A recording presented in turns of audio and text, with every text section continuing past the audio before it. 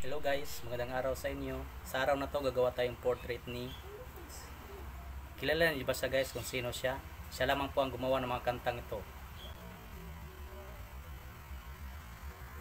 Simulan na natin to guys. Just keep watching.